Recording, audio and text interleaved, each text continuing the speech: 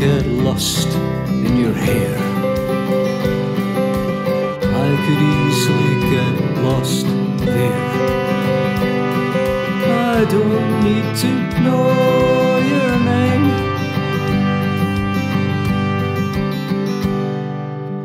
All the same, I'd like to know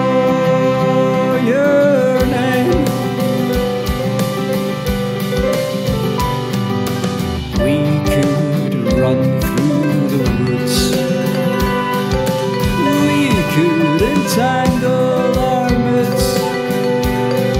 For we both feel the same way. The angels smile